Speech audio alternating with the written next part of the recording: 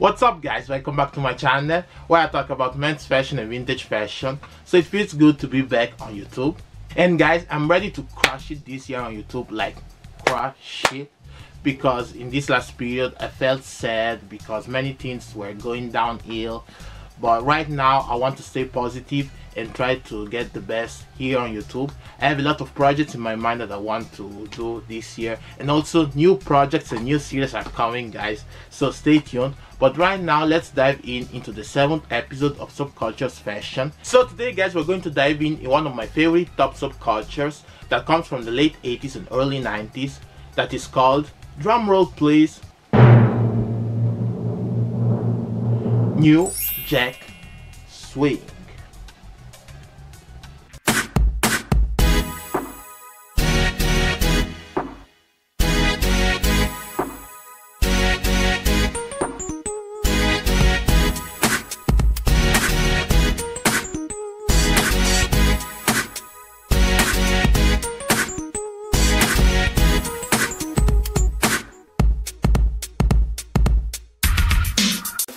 New Jack Swing is a musical genre that was popular from the late 80s to the early 90s.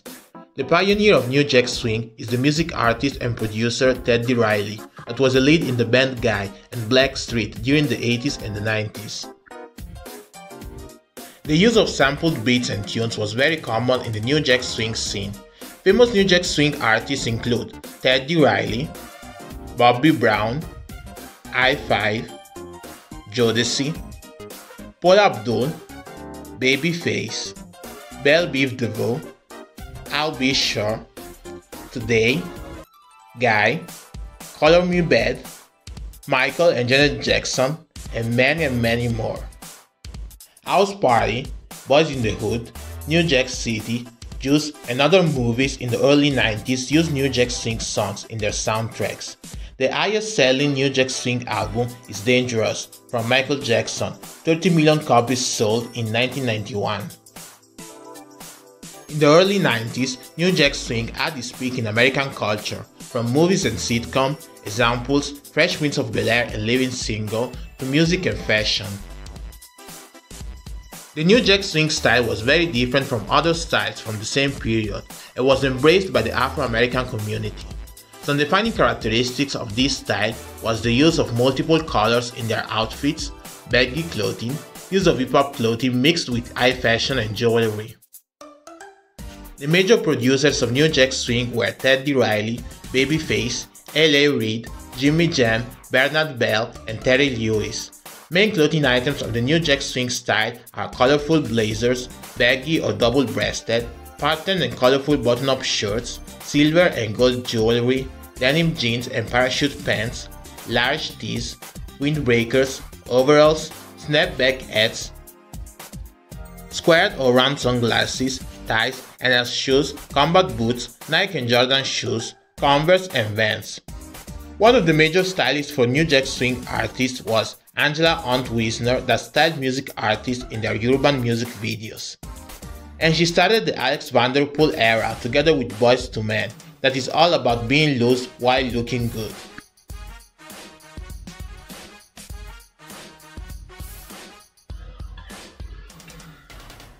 It includes bow ties, nerdish argyle socks, hush puppies, and checkered cardigans.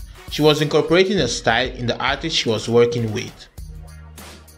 The name New Jack Swing was established in 1987 by Teddy, meaning Johnny come lately. The sound of New Jack Swing is defined by hip-hop beats made from the drum machine and hardware samplers combined with rhythm and blues singing.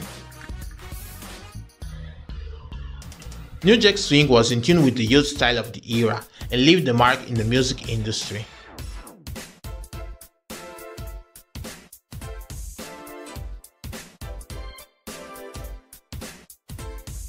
So now that we know some facts about the history and the style of New Jack Swing, let's dive in into some outfits. I love the New Jack Swing style guys. I think probably 50 or 60% of my wardrobe is New Jack Swing inspired. I still some clothes from my father.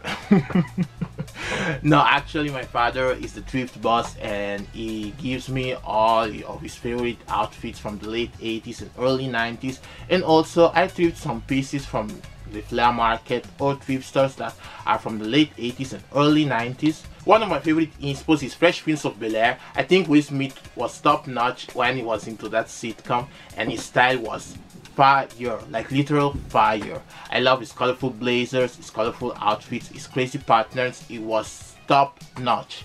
And so today I created three outfits guys. I am so excited to show you guys. Very very excited. And yes, I was inspired from different urban music videos from the late 80s and early 90s I was inspired for the Fresh Prince, from Boyz II Men, but you will see all of that right now and I will leave you to the little lookbook. Yes, I can say it. New Jack Swing started my love for vintage.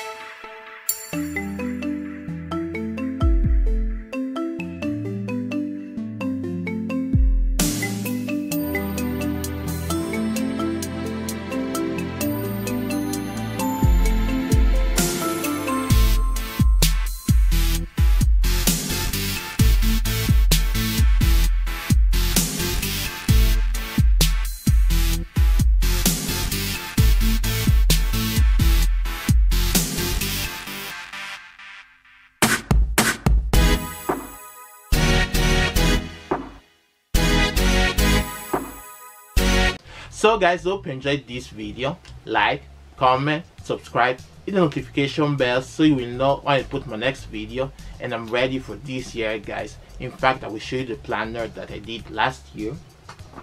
This is my planner for 2020. As you can see, I think all the scripts, all my videos ideas were all here guys. And I finished it like in time. There was only one page left. So I have a lot of video ideas that I want to do this year. This is the new planner that my sister gave to me this Christmas. And yes, I will continue my subculture series, my inspired movies, lookbooks. I will continue with fashion history. In fact, I'm doing a course online about fashion as design and I'm almost at the end guys so I have a lot of material to share with you guys and also I have a special project in my mind but it depends when all this weird situation will come to an end and I will see you very very soon. I think I forgot something. Oh yeah, I want to do more vlogs, more vintage cooking, maybe vintage video games, vintage theme weekends, just having fun on my YouTube channel. So let me know if you want some fun videos that I can add to the fashion videos that I do usually. And yes, that's all I think.